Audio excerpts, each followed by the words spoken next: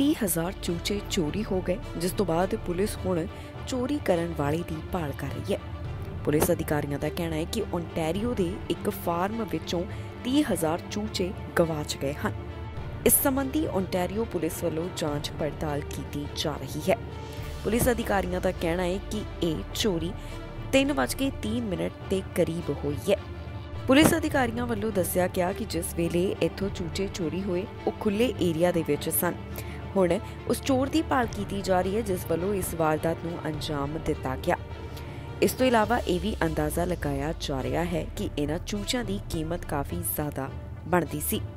ਇੱਕ ਚੂਚੇ ਦੀ ਕੀਮਤ 1.40 ਡਾਲਰ ਦੱਸੀ ਜਾ ਰਹੀ ਹੈ, ਜਿਸ ਦਾ ਮਤਲਬ ਹੈ ਕਿ 42000 ਡਾਲਰ ਦੇ ਚੂਚੇ ਮਿਸਿੰਗ ਹਨ। ਫਿਲਹਾਲ ਪੁਲਿਸ ਅਧਿਕਾਰੀ ਇਸ ਘਟਨਾ ਦੇ ਸੰਬੰਧ ਵਿੱਚ ਜਾਂਚ ਪੜਤਾਲ ਕਰ ਰਹੇ ਨੇ। ਉਹਨਾਂ ਵੱਲੋਂ ਕੋਈ ਬਹੁਤੀ ਜਾਣਕਾਰੀ ਜਨਤਕ ਨਹੀਂ ਕੀਤੀ ਗਈ। ਆਫੀਸਰਸ ਦਾ ਕਹਿਣਾ ਹੈ ਕਿ ਜੇਕਰ ਕਿਸੇ ਨੂੰ ਵੀ ਇਸ ਬਾਰੇ ਕੁਝ ਪਤਾ ਚੱਲਦਾ ਹੈ, ਤਾਂ ਉਹ 1888310112 ਦੇ ਉੱਪਰ ਕਾਲ ਕਰਕੇ ਪੁਲਿਸ ਨੂੰ ਜਾਣਕਾਰੀ ਦੇ ਸਕਦੇ ਹਨ।